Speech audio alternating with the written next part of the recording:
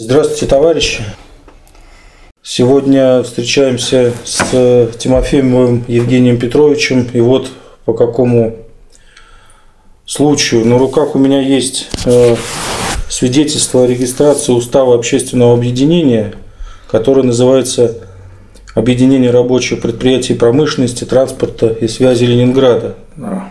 Свидетельство это датировано 91 годом, зарегистрировано Министерстве юстиции РСФСР. И поэтому вот, э, Евгений Петрович, прошу вас, если это можно, рассказать, как это происходило, когда вы регистрировались, и почему решили вот такое объединение зарегистрировать вот в эти вот тяжелые контрреволюционные времена в 91-м. Но здесь э, начало надо положить не, не, не это самое главное, объединение рабочих. Это следствие того, что мы сначала организовали профсоюз докеров. Так. Это то, что началось с того, что 90-е, 90-е годы, даже не 90-е годы, а, где-то 85-й год. Оттуда у нас все началось. Началось как? Ну, я тогда очень, ну, я уже был член партии, ну, вот, очень много раз поднимали вопросы а, на партийном собрании, ну, в основном это касалось охраны труда. Ну, хотя партия была тогда ближе к народу, чем сейчас. К заводам. Да, да. Все как-то решались, но этого нам не хватало. Потому что, а, а ближе к воду это профсоюз. Ближе партии. А профсоюз у нас был тогда как бы один един, единственный профсоюз, ВЦСПС. Угу. Вот. Он всех объединял. Вот. Пример к тому, что у нас было 25 человек, членов правкома Ленинградского морского торгового порта. И там нас было 7 человек докеров. Ну, представьте, 25 человек и 7 человек докеры. Чтобы мы не выносили. Блокировали. Ну, естественно, там все остальные, все служащие. Угу, угу. Вот. Ну, тогда вот, значит, что же делать? И тогда вот в 90-е годы вот это все это пошло. Ну, и мы тоже стали думать. А, вернее, не мы стали думать. Мы-то уже... А, потом э, Константин Васильевич Федотов, он угу. тогда учился в этой академии, там познакомился с Михаилом Васильевичем Поповым. Вот. И тоже все эти мысли наши э, Константин Васильевич доводил до Михаила Васильевича, и там все это как бы обдумывали, потом уже меня пригласили, вот, мы втроем все это решали, как, ну тогда еще э, мы создали э, общественное объединение за коммунизм и ленинизм. Угу. Вот, вот это общественное объединение. Что все Ну, параллельно мы шли оформлением профсоюзной организации. Вот. Но мы тогда сразу не вышли из этого профсоюза ВЦСПС, организовали внутри этого профсоюза э, как бы свой комитет угу. докеров. Рабочую секцию. Да, такую. рабочую секцию. Угу. Ну, естественно, потом опять же пошло, чтобы создавать свой. Когда набрали силу уже, вот, мускул накачали, тогда уже почувствовали, что мы эти организации. Только тогда мы пошли на том, что создавать профсоюз. Ну, вот. Но это нам удалось сделать. Ну, и, естественно, здесь же мы э, только одна организация, порт, докеры. Ну, а параллельно шли а, вот эта общественная организация за ленизм, э, коммунистический ориентир, э, за ней коммунистические ориентиры. То есть надо здесь в городе выйти за рамки ну, мы, как всегда говорим, за рамки главного порта, за, за рамки порта выйти, за то есть в город, порта, в город. Да, создавать именно рабочие организации. Угу. Вот. Ну, тогда, естественно, вот э, когда все это, все это обсуждали, там Казенов потом был, э, Александр Сергеевич, обдумали, и вот именно создать общественную организацию рабочих. Ну, тогда, когда мы вот этот зеленизм были, там тоже э, ребята были из рабочих, туда все. Ну и потом как-то организовать, организовать именно рабочие организации уже. То есть никаких не служащих, ничего. Вот. А служащий там помогает. Вот. Ну и в первую очередь в том, что или же э, создать, э, организовать, э, провести съезд рабочих. Ну, проявлять инициативная организация была, инициативная, там у нас ребята были, вот это в том числе вот, заместитель Сергей Петрович Петров, там, пролетарский завод, пролетарский завод, потом э, Выборжец, вот, Кировский завод, угу. такие ребята были. Вот, ну, провести так, предварительно обсудили это все, как это все это делать. А проблема-то его не надо искать. Они есть вот перед нашими глазами. То есть вы, вы хотели сделать э, такое объединение, которое отстаивало бы интересы рабочих да. во всем Ленинграде. Э, на предприятиях. На предприятиях. Навести как бы порядок, чтобы рабочий не были просто рабочими. Ну, чтобы они имели какой-то свой орган власти, который мог бы... Если могли бы повлиять доход, продвигать их интересы да, на предприятии. На предприятии, да. Кто-то бы защищал бы их интересы. Угу. Так вот, вот, и вы совместно с вот э, нашими научными деятелями, с Александром Сергеевичем, Михаилом Васильевичем, да. Э, Козелов Александр Сергеевич. Да, и вот вы э, с... Да, тогда еще Снежков был. Снежков, вот, к сожалению, не знаю. Вот и, и, в, и вы... В начале вот этого создавания вот Совета рабочих. Да, да, да. да. Э, с товарищем Федотовым решили Э, организовали вот это вот э, объединение, правильно? Да, да, да, да. да. Как сложно прошла регистрация, потому что год-то такой стоит 91-й, и сейчас многие о том, чтобы иметь какую-то ну. зарегистрированную организацию, какое-то объединение, не то чтобы мечтают об этом, но видят в этом некоторую цель. А тут у нас получается, что уже есть объединение, и оно действующее. Ну, да, юридическое, оно юридическое да. лицо, да. Да. Не надо ничего делать, регистрировать, реанимировать надо и все. Вот как это сложно прошло, вот этот момент? Как вот э, ну, буржуазия к этому вот отнеслась? В те времена, вот это смутные времена, даже вот когда время этой перестройки, вот один только пример. Да, мы, ну, в то время я уже э, не скрываю то, что вот я коммунист – председатель Совета рабочих, там угу. профсоюз это организовывали, это все, шел на выборы в Ленинградский городской совет. Угу. И прошел городской совет. Вот.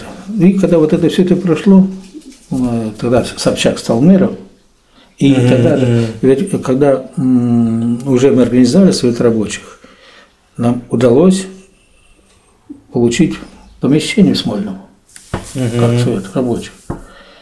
Когда Собчак пришел мэром, поселился в Смольном, он нас не выгнал. Он там чуть повыше сидел вас, да? Вы, mm я имею в виду, он повыше сидел в том здании, а вы пониже немножечко. Мы, нет, мы на втором этаже были. Так, ну, я не помню его кабинет там. Я туда не ходил, просто мы с ним встречались в исполкоме. А, угу, угу. Когда все это шло, это все, он тоже стал депутатом потом. Вот.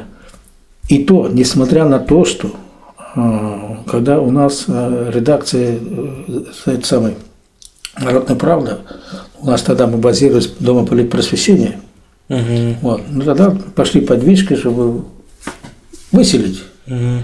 Народную правду оттуда. Но тоже как делать, это опять же вот наши умы, Михаил Васильевич, Козелок, Константин Васильевич, ну, ну, что же делать, какой, какие шаги предпринять, чтобы они на нас посмотрели, ну, естественно, приняли правильное решение. И мы решили просто не на конфликт идти с ним, там тяжбы, там какие-то все, а просто чисто по-рабочему. Взять, заблокировать Смольный закрыть все входы выходы. Посчитали, сколько выходов, входов туда, всех рабочих, ну, все, все Ленинграды, которые были угу. вот в этой организации. Вот. Поставили два, три человека, все, все, и все, никого не пускали. Но потом уже видим, что женщин там приходят, так это женщин пускать. Все, и Собчак приехал туда. Угу. Когда 24 Волга была белая такая, там, как бы, значит, я вот, а мы рабочих устали, плечо к плечу. Да, все, нет, решаем вопрос. Мыкался, мыкался. Павел Петрович, что ли, комендант был Смольного, сказал, вот, комендант, идите решайте вопрос.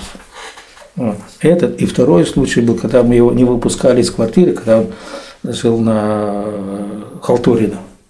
Угу. Вот, тоже не выпускали. Вот тоже там ФСБ конфликт искали, ну, как-то вот причину, чтобы нас повязать, и все. Даже вот после этого всего он не выгнал нас. То есть он понимал, он, хотя, э, то есть грамотный, дипломатом, то есть рабочих нельзя трогать. И тем более в те времена, это даже рабочие, это не, не то, что сейчас мы, разобщенные все. Ну да, тогда еще сила была. Да, а раньше же такое, ну, и все. И даже в этом, когда э, ну, исполкоме, когда у нас совет, раньше долго все знали это все, ну, словоблудием все в основном занимались. И то, когда надо было нам, нам что-то делать, к, к Собчаку идти, он никогда Спокойно воспринимал. Спокойно, все, решает все проблемы. То есть я думаю, что и здесь тоже, зная все это, значит, ну, общественная организация для чего это делать? Ну, тогда-то в основном-то были еще люди э, тех времен, э, угу. руководители. Мы это по-другому совсем, не так, как сейчас. Тогда еще частной собственности не было. О, это самое главное. Ну, он еще не оформлено да, было. Да, да, да, да, да. да. вот. Я думаю, что вот поэтому и так у нас все прошло. Прошло не, не особо затруднительно, да? Да, да. Да, А вот такой вопрос э, объединения рабочих предприятий промышленности, транспорта и связи. А вот э, какие предприятия входили и представители каких предприятий э, рабочие были делегированы вот на съезд, так. чтобы утвердить совет Сейчас Потому что здесь вот я так э, ну, вижу, что председатель совета вы, председатель съезда, вот как такого, которого в 1993 году проходил. Вот хотелось бы, если можно понять, кто вот из э, товарищей. У нас да, порт, пролетарский завод Сергей Петрович. Да, да, председатель это был. А, Выборжец, Красный Выборжец, о, Красный Выборжец, а, Кировский завод, так, метро говорил, метро, ой, там много предприятий это было, сейчас уже я не помню. Так, железнодорожники. Железнодорожники были, да? Да, железнодорожники. И еще, по-моему, вот, на этом съезде было нет, представитель был железной дороги с, с Волховстроя. Mm. А сколько примерно человек было? Вот ну, здесь я вижу на съезде было 68 делегатов в 93 году. А вообще сколько объединение насчитывало человек? Ну, вот, скажем, я сейчас не помню. Хорошие времена. Ну, до 100? Да, да, да, где-то где так, да. Вот. А ну, сколько вот оно действовало активно? Вот, э, ну вот мы видим 93 год, да, протокол вот, изменения ну, в, это, да, часто в устав, это... а в 91-м зарегистрировано, и оно сейчас действующее. Как вот долго вы руководили этим объединением? Ну, у нас был совет, который мы собирались. Вот. Но потом же, когда мы, э, мы провели этот съезд, первый, по-моему, на Финляндском вокзале, но там э, у них красный уголок, вот рабочий, вот красный mm-hmm. уголок у нас есть проводится. Вот. Там собирались, а потом нам а, собирались в Дом просвещения, совет когда, а, а потом уже дали нам Смольным, и Смольным уже стали проводить. Mm-hmm. Вот. Ну, так информация, все, помогали, что решать вопросы именно через профсоюзы. Ну, тогда Совет, Советы рабочих такой силы-то не имели, но они уже как бы здесь организовывались, ну, обсуждали все эти проблемы рабочих конкретного завода, выяснили, что надо чего-то делать, и они уже на предприятие члены совета, которые были вот на съезде, то есть участники, которые знакомы с этой организацией, уже работали в коллективе там, у себя на предприятии. Газеты вот за рабочее дело уже стали выпускать потом. Вот. И... Да, там, там есть у меня в э, папке документов протокол об учреждении этой газеты. Да. За рабочее дело, что она тогда вот была учреждена, что это газета вот, э, вот этого совета, э, именно, именно совета рабочих. Да, ой, да, я, я забыл, мы же, мы же это самое, почему там регистрировались, вот первое, это, ну такое неофициальное заседание это было, вот именно здесь, в музее Кирова. Угу. А сколько вот этот совет рабочих все-таки проработал? Ну вот по, по памяти, до какого времени вот он действовал, вот, действовал, пока вот не пришли, может быть, какие-то ну, другие времена? Ну, где-то у нас пошел спад после путча. День после 93-го? 93-го, да. Еще более однозначно настроены в Совете рабочих. Как известно, уже существует постановление Российского исполнительного комитета Советов рабочих, многочисленной и мощной организации, с которой не считаться нельзя. Она вынуждена была принять решение о создании отрядов рабочей гвардии для защиты конституционных органов власти. Уже выбран командир отрядов рабочей гвардии. На этом заседании были приняты следующее постановление о создании отрядов рабочей гвардии для защиты конституционных органов власти. Данное постановление определяет, что в условиях насильственной ликвидации Совета народных депутатов, циничного поправления основного закона Российской Федерации, уничтожения конституционных прав, свобод граждан, в связи с введением бывшего президента Российской Федерации фашистской диктатуры, в целях защиты Совета всех форм, постановил ЦИК создать отряды рабочей гвардии при городских советах рабочих. Отрядом рабочей гвардии взять под защиту советы всех форм и уровней. Городским советам рабочих часть отрядов немедленно отправить в Москву для защиты советов и конституционных органов власти. После этого так не, не то, что сразу, а так уже, mm-hmm. ну тогда уже все реализации стали разваливаться. Вот. Ну и все равно потом же, опять же, на базе именно а, Совета рабочих и в порту стали выпускать газету «Докер». Ну да, да. Да, пока там опять руководство не пошло, это, это все. То есть, как бы, почему это все? Потому что э, вот наша беда, что мы очень доверяем руководству. Когда, когда они там на уши напивают это все, да, вот. и потом, ага, они вот позиции все сдаешь, сдаешь, а в итоге уже ничего ты не получишь. Ну да, если не бороться, то да, все отнимут. Да, да. А вот такой вопрос. Мы когда разговаривали с вами по телефону, я вам э, сказал о том, что есть вот эти документы, вы сказали, что организация канула в лету. И вот, но все-таки хотелось бы возродить деятельность. Нет, я тоже все это думал, думаю, это же, а, если до Юра эта организация действует до сих пор. Да, да. Просто нет людей.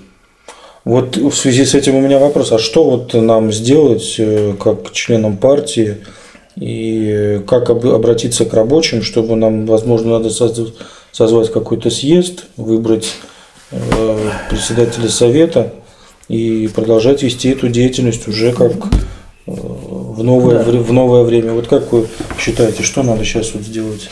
Э, Также Созвать... делегировать э, съезд, провести съезд очередной, избрать делегатов на съезд рабочих. Угу. И все. Или, или через профсоюз, профсоюз делегировать. Какого-то рабочего. Мы можем, предположим, э, обратиться в профсоюзы с просьбой делегировать своих рабочих э, в это объединение на этот съезд? Можно, можно. И А- профсоюзы. А если эти профсоюзы, вот они, ну, не рабочие? А, Нерабочие тоже могут, если они заинтересованы. в этом. Нам-то какая разница? Главное, чтобы профсоюз стоял на позиции. Да. Ну, а если На- получается на так, позиции что... рабочих, чтобы именно решать э, профсоюз, ну что, что вот пред- предприятие работает, так? Есть профсоюз.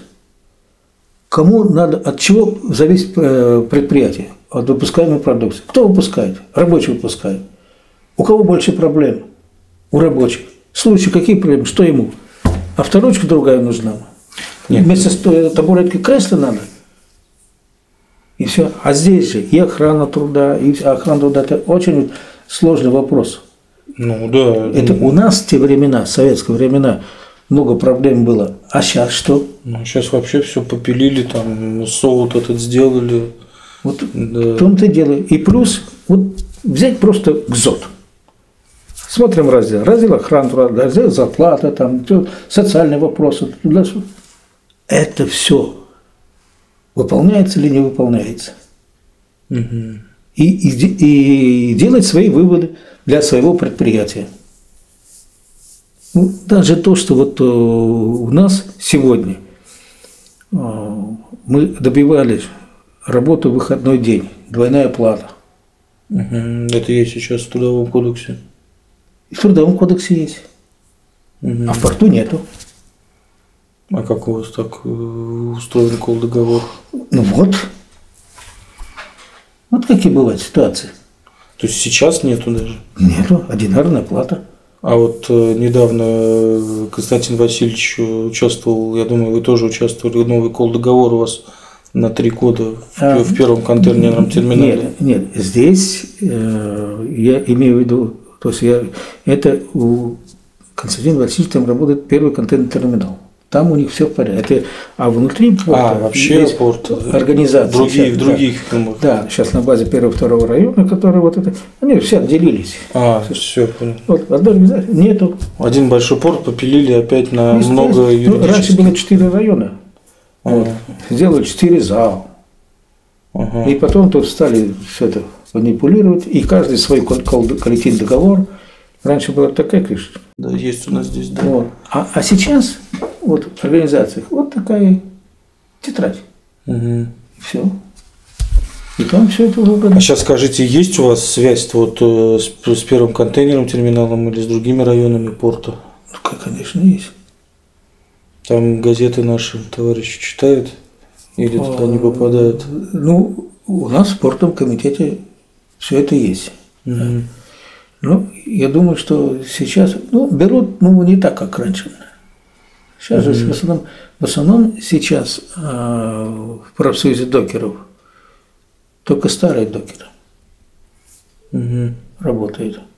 А сейчас, которых новых нанимают, уже они нанимают по договору. По срочному договору. по-моему, Да. Да. Чуть что профсоюз, значит все. А почему э, не вступают люди в профсоюз сразу? Их поставили в условия? Поставили. И эти работники сейчас, ну я так, правда, когда и вот вчера был портовый комитет, ездил туда, Мгм. а, я вот лично уже в сторону порта не смотрю даже, Мгм. потому что тошно туда смотреть.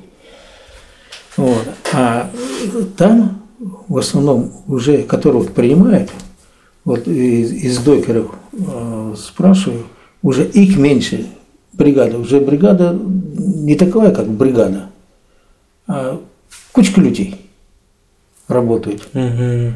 вместе. То есть э, таких э, серьезных раз- старых рабочих разбавляют новичками. Да, уже, уже старые, как бы сказать, уже из старых осталось наши, когда молодые еще не успели окрепнуть туда-сюда, и потом вся эта, вся эта бодяга пошла, это все. Теперь они старые. Ну, это по стажу старые. А по качеству еще тогда они доросли, не успели дорасти, они так и остались на этом уровне. И все, каждый сам за себя работает. И сейчас очень много травматизма, очень много поломки техники. и кто работает на этой технике. Опять же, эти вот контрактники. Мгм. Все равно держат, все равно держат. Специалистов нету. То есть несут убытки, ну, как бы мы так думаем. Ну, они-то вряд ли, наверное, убытки-то несут.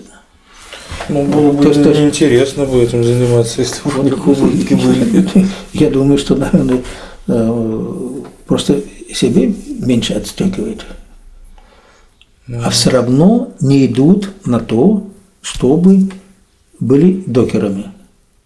То есть их голубая мечта разделить, чтобы не докер работал, а работал крановщик, водитель, грузчик. А, то есть у вас такая докер это профессия, которая соединяет в себе вот много вот этих Да, функций? специ- много специальностей. А, я-то просто вот этого даже как-то и не знал. Потому что, потому что это, ну как ты будешь народ набрать и выгружать судно? Тут же нужен те, которые внизу кидают, как бы грузчики, водитель погрузчика, крановщик, специалист, который сигнальщик стоит. Стропольщик. Да, нет, сигнальщик стоит. А, На, на трюм, который стоит, смотрит, сигналит крановщику. Вот. На берегу это все. И вот это раньше была одна единственная, единая Одна брига- бригада была. Одна бригада была. А, Сейчас бригада вроде бы есть, а люди все разобщены. м, Нет уже коллективизма. Нету. И здесь работают э, уже, я говорю, даже уже водителями, уже эти э, срочники. Ну, естественно, один другого подменить уже не может никак уже. Нет, подменяет, но все равно Ну, все равно компетенции уже не те. ну. уже не те, уже коллективизма нет в бригаде. В общем, каждый сам за себя работает. Даже, я говорю, а кто чего, вот тот, ну, это для меня будет ужасно. Работают люди, вот шкафчик вдвоем переодевается, даже не знает, кто он такой. да, Ну, не знаете Иванов, Петров, Сидоров, и все. Семейное Вот положение, так как вот это э, все. нарисовали такую картину, как бы, ну, несколько э, Мрачновато. мрачновато. Хотелось А бы- это есть на самом деле. Я понимаю, все-таки вот хотелось бы как-то позитивно э, провести беседу и понять, вот как вот нам все-таки объединение это рабочих Нет. может по- помочь? Нет, вот, вот я говорю, здесь говорю, сколько вот проблем, сколько. Много проблем много, да. Вот, вот эти-то проблемы, естественно, надо решать. А как решать? Вот именно только работать с людьми, с рабочими. Именно вот вести беседы, вот то, то, то, все это. Вот. А по-другому-то никак. А да, есть- тяжело. Сейчас тяжелее, чем раньше. А есть какие-то, вот, может быть, связи на, пром- на промышленных предприятиях Ленинграда не только в порту, где бы мы могли вот по- позвать кого-то в эти объединения? Может быть, кто-то из э, более молодых товарищей. Мы-то, конечно, э, в клич дадим и расскажем об этом, о том, что вот так возрождаем деятельность такого объединения. Ну, чем Ну, сейчас было бы э, я уже помочь? давно с, с, с, с, с- с- с многими предприятиями не, уже не работаю. Я только вот уже давно зациклился своими докерами.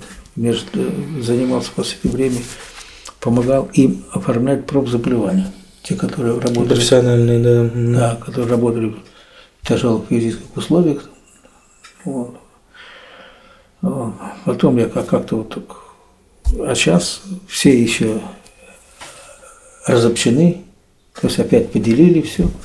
Вот. И к тому же допуска нету. У меня самого первого отняли пропуск Да, да, да. вход в порт. Вот. И это, ой, это уже с- после перестройки, это, все сразу. Сначала этот самый на машину отобрали пропуск, а потом и совсем.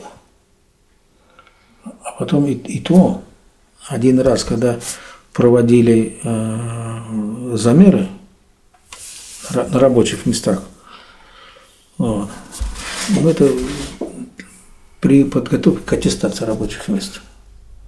Вот. мне дали разовый пропуск. И, и что?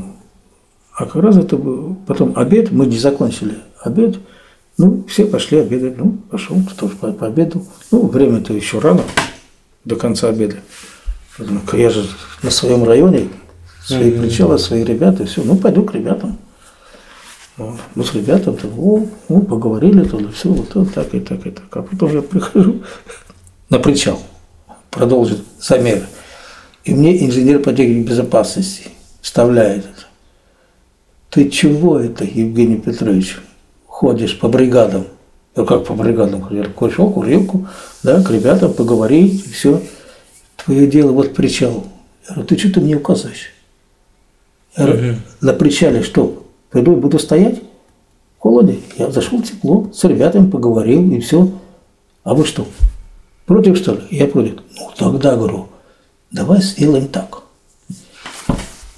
Нарисуешь мне, мой маршрут, в следующий раз, когда пустите меня, нарисуешь мне маршрут.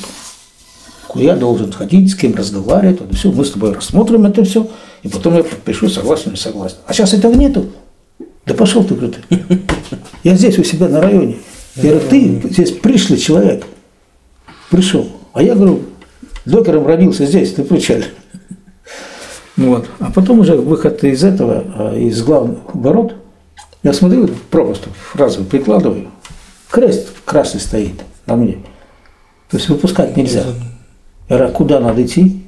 Он, начальник там, замначальник службы безопасности, туда сюда пришел, говорю, так и так, почему не выпускать? А почему ты ходишь туда-сюда? Кто тебе разрешил? А ты кто такой, говорю? Сразу. Ну, я вижу, он молодой, старых-то я знаю, он молодой. Uh-huh. Говорю, ты, говорю, ты, ты кто такой? Я говорю, я пришел к себе в порт, считай, что пришел к себе домой, к ребятам поговорить. И вы хотите, чтобы я как пришел, ни с кем не разговаривал, ничего, что ли?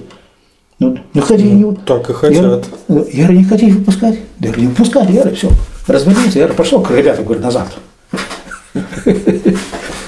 Стойте, стойте. Ну, выпустили. Обратно уже не впустили, не, не впустили. Ну, естественно.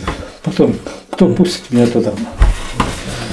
Так что вот именно только с рабочими здесь разговаривать, вот именно те проблемы, которые есть, вот их надо, вот надо решать.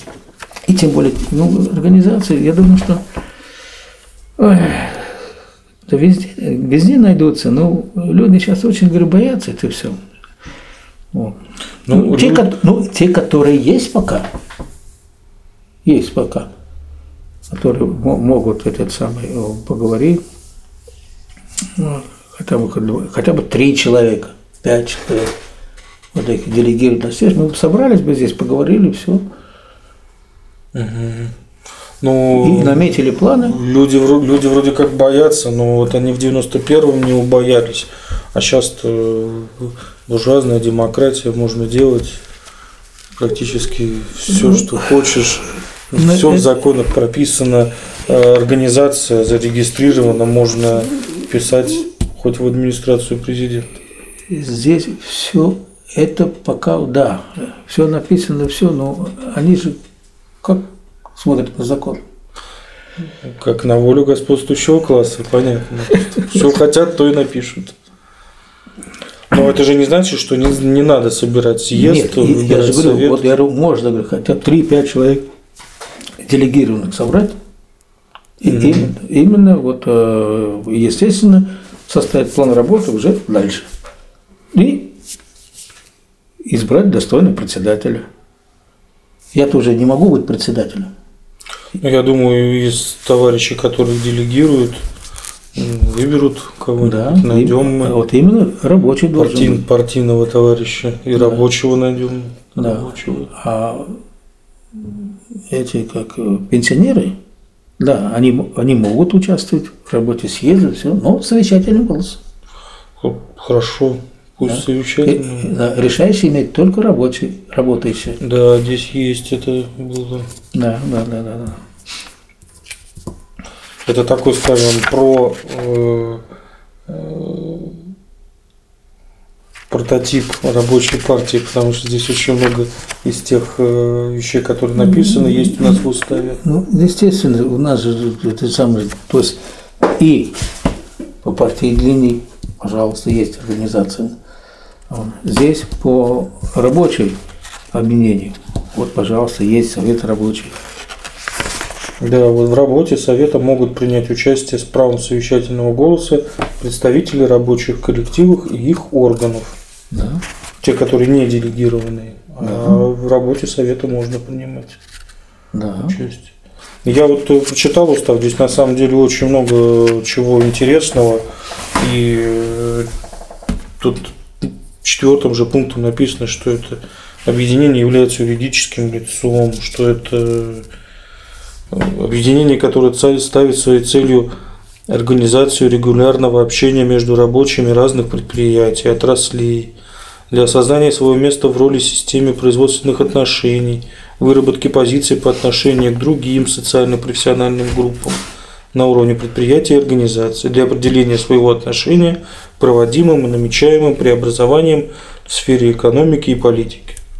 То есть мы можем всегда выразить негодование в связи с какими-нибудь нормативными актами, э, указами президента, Да. постановлениями правительства и любыми другими локальными актами, которые выходят на уровне предприятий. Да. Мы же тоже, э, Совет рабочих, э, когда Горбачев создал план Горбачева, Мгм. там же учредителем кто был? Все президенты Европы Мгм. и плюс американский. Там такие деньги огромные. На что он живет, Горбачев-то? План Горбачева, да, с которым тоже боролись в те же времена, когда за- Блокировали, блокировали его да. там, да, да. Ну, все равно же, если бы сейчас бы все это делать, ну, сейчас бы все показали, то есть, ну тогда все, ну так тоже ходили, естественно, ФСБшники, там, как плечом оттолкнул, как, как реагировать. Мгм. Только попробуй руку поднять, ну, все сразу повязали бы и все. И тогда вот, ну, Горбачев не приехал. Ну, так что вот такой вот, наверное, один из последних вопросов. Э, Организация Фонд рабочей академии, э, президентом которой является Михаил Васильевич Попов, вот она учреждена в том числе и объединением рабочих предприятий промышленности, транспорта и связи Ленинграда.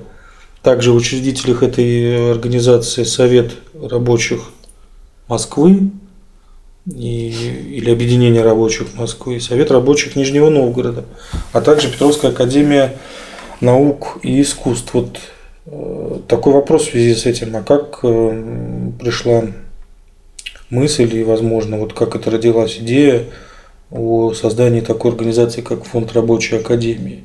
И Ну, какое отношение к нему имеет Вот, вот это здесь именно самая тесная связь рабочих и служащих. А, мгм. Потому, почему рабочий – сила, а служащих – ум, знание. То есть именно знание передавать рабочим, обучать рабочих. Он называется, да, еще фонд содействия обучению рабочих, да. Естественно, естественно. мы тогда, только пока еще вот фонд рабочей академии там не было, ничего, мы уже тогда начинали э, изучать науку Локи Гегеля. Да, у нас тут тоже есть. Вот, тогда Константин Васильевич, он тогда в этом, ой, лесотехнической академии, там территория, там у них барак был старый. Вот туда там собирали, все изучали. И пошло потом все это же надо же, на чем только вот кучка людей тут занимается. Вот потом пошло, пошло, Михаил Васильевич у нас мысли-то как? Михаил Васильевич, да, мыслит масштабно. Вот. Поэтому и возросла идея, появилась идея, то, что вот именно возродить надо вот такую организацию создать. Академия уже шире. А теперь вон как работает Академия. Да, в фонде рабочей академии действует кружок э, любителей гегельской диалектики. Я постоянно на этот кружок хожу. Он проводит свои занятия два раза в месяц. Э, В фонде рабочей академии действует университет рабочих корреспондентов на Очаковской э, товарищи из РКРП в помещениях проводится. И работает Красный университет, который каждый год э, набирает ну, там порядка ну, нескольких сотен слушателей со всей страны. И в Петербурге где-то порядка 10-15 человек каждый год выпускается. Я тоже закончил. Вот, вот, все расширяется, расширяется. Подождите, прорвется. Все это, Нет, ну, это все бесследно. ну, понятное дело, что нам, нам нужны да, мерные поступы, а не какие-то там истерические порывы. Вот и что, собственно, хотелось еще сказать в конце, возможно, огромное спасибо, что оставили такое э, положительное впечатление в том плане, что вот э, нашли эти документы, и что вообще эта организация есть, и что И- в тот момент, когда вот эти контрреволюция вот наступала очень сильно, это же 91 год, тут э, даже он протокол номер один от 22 июня, что вообще, ну, так сказать, намекает на вой- практически вооруженную уже борьбу. Но вот тем не менее таким вот легальным способом Просто э, вот э, чуть перебью вот к этому, почему это так пришло, вот слава Михаил Васильевич. Если ты взялся бороться, борись открытую, открытой грудью, надо идти вперед и не бояться. Если ты будешь прятаться, как говоришь, ну, если ты на горе, тебе вся видно, и никто к тебе не подступится, чтобы тебя убрать. А так внизу, когда ты тихо там работаешь, что-то там шевелишься, тебе прихлопали, никто не заметил. И никому ты не нужен. да, Вот Поэтому вот так. вот так рабочий, рабочий класс не прихлопнешь. Да, да, да. То есть тихоря тут нельзя работать. Просто ну, знать надо свою правоту. Им за, за что бороться. У нас же тогда этот самый, э, даже в советские времена, сколько нам не доплачивали, когда коснулись мы заработной платы, не доплачивали. Даже один пример, это же очень, это те времена огромную сумму заплатили. Просто, опять же, чисто случайно, когда мы выгружали этот самый суда, которые возили с Америки шрот. Ну, это перемолотая кукуруза, там это все это зерновые шрот. Вот. И они, пока везли с Америки, вот этот груз они травили газом. М, Ничего себе. Ну, ну, чтобы эти всякой букашкой не развелись там тренами. Пока идут, а то там шаражат, то все. Вот. Мы-то все это выгружали, все. Мы же не знали ничего. Вот. А просто как-то моряки вот говорят, а мы вот, вот трюм, да, вот этот э, конус вырываем краном до конца. Вот. И этот самый, потом погрузчик опускаем капсулу, и он начинает ковырять. И оттуда все рушится. Ну, сколько было случаев этот самый а, засыпал водителей. Даже у меня, то- а когда вот, а там же канал же в порту, он же узкий, и судно стоит, судно пройдет мимо, он все равно качнется. И вот эта стена, и у меня даже такой случай был, когда я погрузчик, да я, правда, когда на обед уходил, всегда центр трюма ставил. Ну, вдруг обрушится и все. И с обеда прихожу, вот крыша, столько видно и все, все засыпано. То есть судно прошло, качнуло, и все, это рухнуло. То есть, знаете, какая-то опасность. это. Да, да. Ну, и потом мне сказали, что э, какие моряки, а с Прибалтики, оттуда же были. А у нас говорит, там послойно выгружают тракторами. Вот. И там я узнал, в Риге, в Риге узнал, а, что вот это, когда фумигированный груз шрота выгружают, им доплачивают 3 копейки от тонны. Мгм. То есть сколько тонн выгружают, на каждую тонну 3 копейки плюс идет к заработной плате. И начали разбирать, комиссию прислали. Елки-палки. И нам сколько? Копейку. Я говорю, остальные-то куда? Токер на погрузчике подъезжает, все это выгружает, грузит, это все и увозит козлов, там все это сжигает. Я говорю, вы-то какого участия здесь принимаете? Я говорю, ну, пойду, говорю, еще дальше. Я говорю, будет скандал. И потом что сделали? Все пять копеек отдали нам. Мгм. А я-то знаю приказ с какого года. Это был 86 87 был летом. А прошлого года приказ с 1 сентября. То есть, считай, где-то 11 месяцев или 12 месяцев прошло уже. Нет, не 11 месяцев прошло. А потом я еще иду, я говорю, «А теперь смотрите дату. С какого? С такого вы получаете деньги. Так что поднимите все И наряды вернули. наряд вернули все. Даже в те времена уже все это обманывали. Ну да. Интересная история. И по заработной плате уже стали все это поднимать, это все. Сразу зарплата поднялась. То есть вот все, началось, вот это все, стали копать дальше, дальше, дальше. Всё. То есть, а сейчас тем более, когда двойная бухгалтерия везде. Вот. Ну, естественно, сейчас надо, конечно, надо быть более осторожным. То есть сначала надо как бы тихоря набрать сил, то есть ребят там уже не в предприятии, где-то уже в городе надо встречаться, все это обговаривать. Это все, все это сторонник. Тогда, если удастся, конечно, профсоюз на свою сторону, если там э, не весь профсоюз, а не весь правком, хотя бы часть людей, которые сагитируют проблемы такие, такие-то есть, вот закупают технику вот, или что-то там закупают некачественное.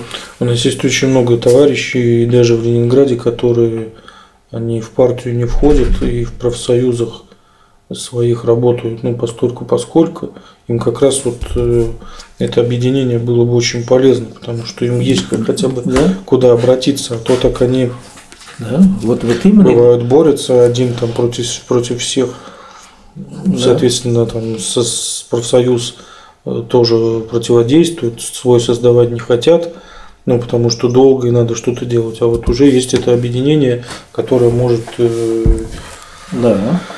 при необходимости может какую-то э, инспекцию устроить там по охране труда и обратиться куда-то да, в, тот, в тот же самый правком, написать что-то от коллектива, от этого объединения может же Да, обратиться там за поверкой электроинструмента или за э, какими-то другими еще э, мероприятиями по специальной оценке условий труда, которые проводятся м, работодателем э, в интересах работодателя, а не в Вот интересах работника. Так, вот не надо опираться на СОУТ. Это специальная оценка условий труда. Это не наш закон. Там мы ничего не выиграем. Мгм. Здесь просто нам надо что? Предприятие в каком районе находится? Ну, в Невском условно. Невский район. Роспотребнадзор Невского района. Мгм. Туда идти. Там же э, Роспотребнадзор контролирует все организации. Во-первых, вредное производство, а если вредное производство там есть, э, в этой организации, там, ну, цеха какие-то, Ну, цеха, тяжелое машиностроение, Да. предположим. они должны контролировать, провести замеры ежемесячные, ежеквартальные, годовые. Мгм. Они проводятся. Ну, сейчас в основном, конечно, Подписываются просто от- документы от- и все. отписка, отписки идут. То есть это здесь надо, опять же, идти в этот Роспотребнадзор и интересоваться. Ну, ну, вы знаете, где ну, хотя бы там же э, человек стоит у станка. Так, какой его режим работы? Что он в 8 часов пришел, ну, с 8 до 16. Ну, там обед, час или полчаса там обед. И он все стоит на ногах. Нет, ну он должен, наверное, посидеть, походить. А его в режиме работы это есть у Кутуквазана? Ну вот не всегда это есть. Да нигде это не указывается. Ну, бывают места, где очень э, еще сильны какие-то традиции. А если, а если не указано ничего, то значит у тебя уже вредная работа.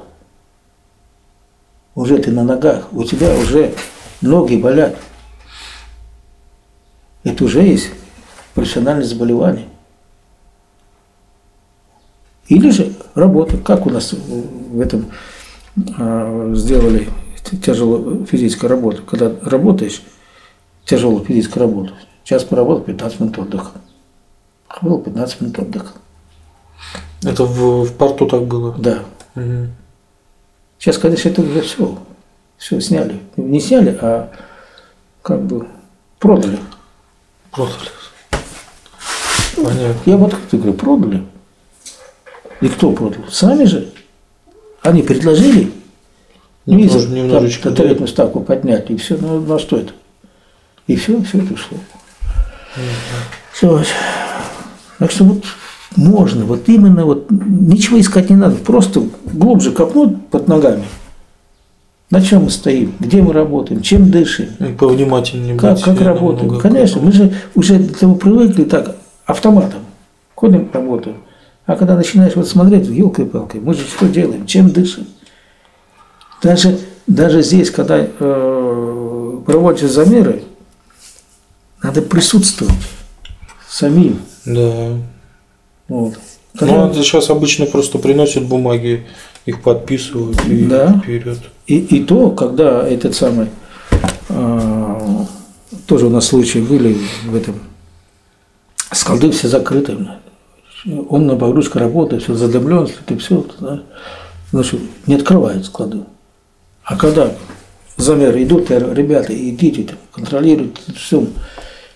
Они до этого замера открывают все ворота, Чтобы проверить. чтобы проветривать, да. Чтобы теперь что, никакого загрузки нет. Ну да, это известная проблема. Да. Вентиляция не работает, работает. А как узнали, что придет это, все отремонтировали, все сделали.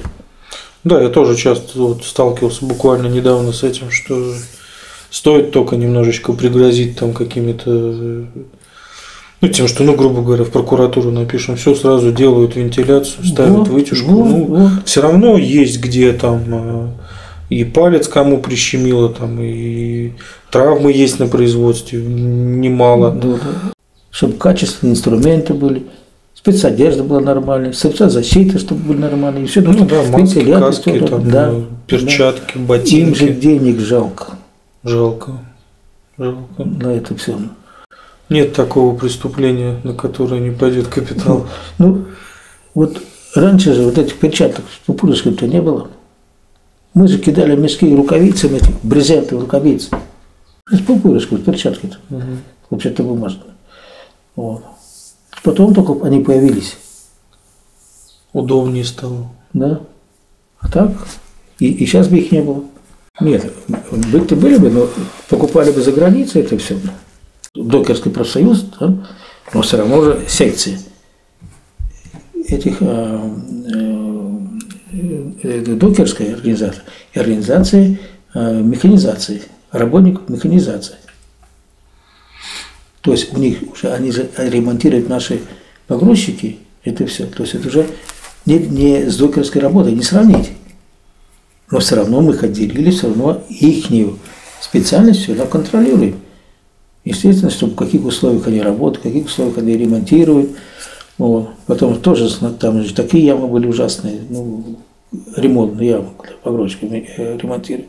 Потом стали все это приводить в порядок, все. И свет появился там в ямах, и все, и вентиляция, это где они работают. Вот, там же погрузчики и маленькие, и большие заезжают, там же вентиляции тоже не было. Чтобы все. И при этом, чтобы и сквозняка не было. Ну, чтобы и тепло было, да, и Конечно. проветривалось. Видишь, спецовки, которые вот это, а, как ну, от массы-то вот это, вот, от вот рукавицы все работали, гайки крутить в рукавицах в этих, да, Прорезиненные. да, резиновые перчатки, это все, Ну, все, чтобы соответствовало нормальным условиям труда, вот именно вот да. в том месте, где Да, трудишься. Здесь да. тальмана работает тоже, те, которые на причале стоят, считают грузы. Ну, то, что отправляют, э, на судно грузят, все, судно выгружают. Они тоже стояли, у них тоже не было ничего, даже будки никакой. стояли на снегу, а кураться негде. Под дождем. Ну, те грузы, которые, то есть металл идет, и под дождем можно работать. Это продовольствие, там, э, зерновые там, грузы там нельзя работать. А эти работают, все. Потом? Будки специально сделали. Чайничек. Да, чтобы она стоит, вот, застекленная, и все, уже не под дождем стоит. Журнальчик, ручку, чтобы было. Да, да, Фонарик. все, все видно, все. Да. А так стояли просто на ветрах и это самое, Ну, обдували. так, стенка это капает, это вот так, понимаете, и М, это хорошо, что эти ворота рядом, тут склад там стоит, а склад еще погрузчики же ездят тут. да, То есть да. же опасно. То есть ничего не было То такого. есть все специальности мы рабочие как вот отделили и, и тут же свои председатели цехкомов. То есть этих специальностей представители. Так что все у нас было все вот разделено, все рабочие, не то что там в одну кучу всех. Так же, потом так же, как в Большом профсоюзе было бы, докер большинство, докер будут свои вопросы решать, а этим слова не будут давать. А у нас нет. Вот ваша организация, вот решайте вопросы вы сами. Вот. Какие проблемы, вы же лучше знаете.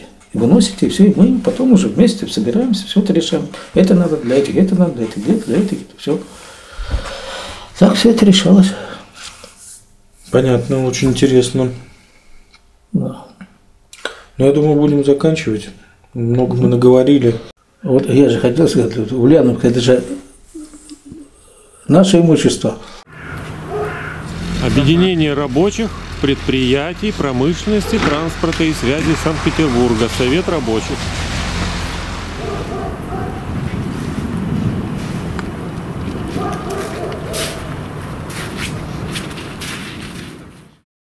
Буду помогать, консультировать, там что-то надо вопросы, задавайте, все. Спасибо большое. Так что все нормально, все хорошо. До свидания. Бу- Будем, будем решать. Скажите нашим зрителям что-нибудь напоследок. Просто не надо унывать, надо смотреть вперед. Есть проблемы, надо решать. Одному не решить, только коллектив.